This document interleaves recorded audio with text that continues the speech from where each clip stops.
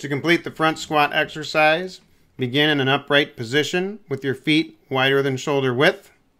Bring your original TGrip bar up and place it on your shoulders, grasping it with a wide overhand grip. From this position, push your hips back and knees out, keeping your weight on your heels. Lower your hips until the top of your thighs are parallel with the floor or lower. From this position, push through your heels and return to the standing position. Repeat the exercise.